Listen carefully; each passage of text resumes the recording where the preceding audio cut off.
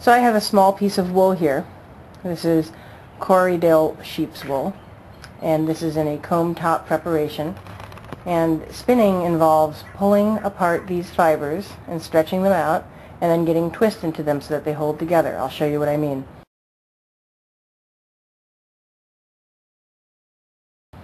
Let me put my hands close together and pull and pull. And no matter how hard you pull, it's not going to come apart. And the reason why this is true is because these fibers are like little hairs. If I pull on just this end, those little hairs come out. And that's how long those hairs are. So if I have my hands closer together than that, if I have my fingers holding closer together than that, I'm pulling on both ends of the same fibers and I can't pull them apart. In order to make my fibers pull apart and move so that I can draft them, I have to have my hands further apart than the hairs are long. That's further apart than this staple length. The staple length is the length of those individual hairs. So if I have my hands close together, I can't pull it apart. But if I move my hands further apart, I can move. And those fibers will pull apart. And they'll pull apart and pull apart, and they will pull all the way apart and just come completely to pieces.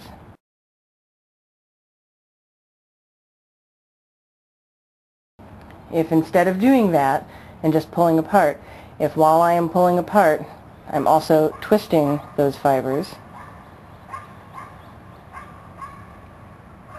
then I get to a point where there's twist in there and that twist holds it together and turns it into yarn. And I can't pull these apart anymore. If I relax, it's going to kink up on itself. It's going to get all twisty. That's normal. It's supposed to do that. So basically, this is all that spinning is, is pulling apart fiber and putting twist in it until it turns into yarn.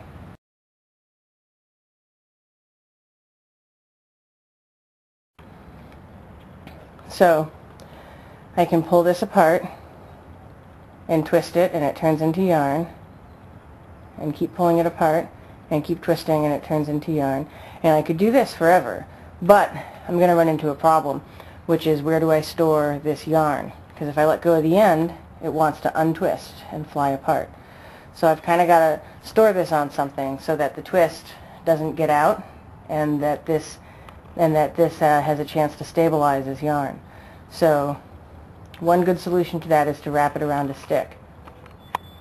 Now all a spindle is is a stick with a weight on it and with the weight on it you're able to make it spin in the air and twirl around and when it twirls around you can you use that twirling energy to put twist into the fiber that you're drawing apart and turning into yarn. Show you what I mean.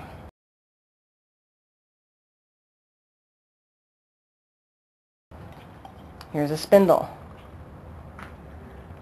I have here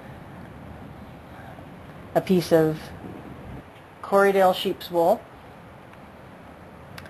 and I'm going to spin it. And what I'm going to do is I'm going to start by tugging out a little bit and making a little loop and putting that in the hook of this spindle. Yeah. And then I'm going to twist this. I'm twirling, I'm twirling, I'm twirling, and then move my hands further out, far enough apart that I can pull on it, and the twist isn't holding it locked together. But see, there's no twist in there yet. It's not strong enough to hold together as yarn, so I've got to get twist into it so that it will hold together. And I can keep doing this just by twirling the spindle. And I've got a whole bunch more twist in there.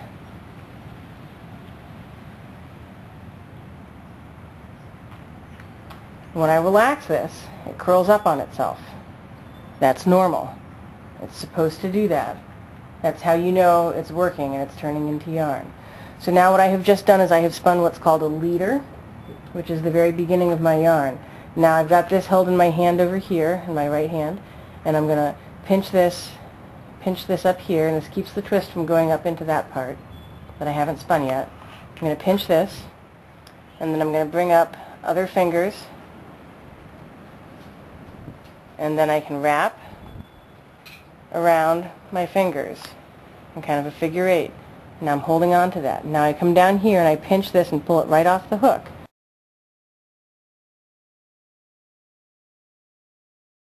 So now I have my leader that I pulled off the spindle and I'm going to just put it right on the shaft. I'm going to hold it there with my thumb and I'm going to wrap this a couple of times until it kind of sticks. And then I'm going to move and I'm going to twirl and twirl and come up here to where this notch is in the spindle whorl and come over and up under the hook and now my leader is secure. Now I can twirl this spindle by flicking it with my fingers down here. When I do that, it spins quickly, and it makes a whole lot of twist pile up in this short little bit of yarn that I have coming off from the hook.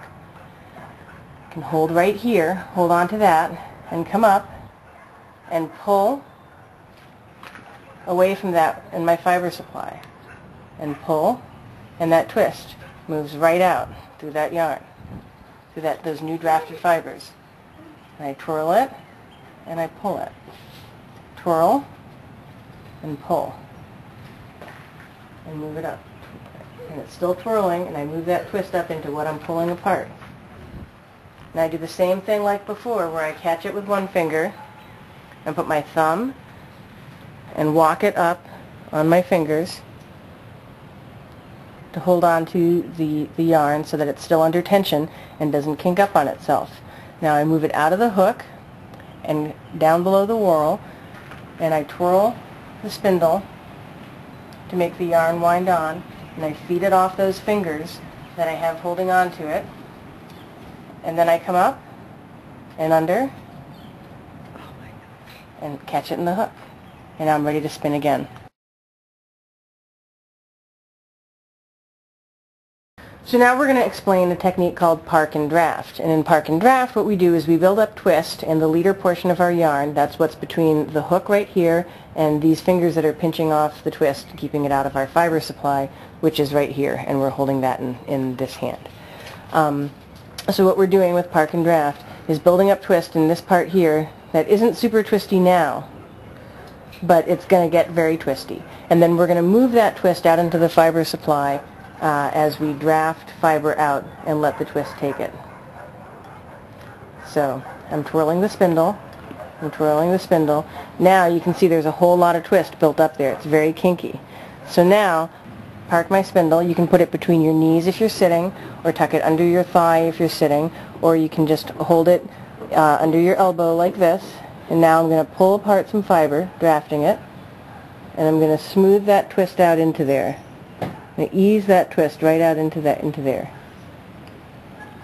Now, once you're better at this and you've gotten some skill, you'll be able to have the, the spindle spinning and keep going and draft so quickly that it stays ahead of that twist.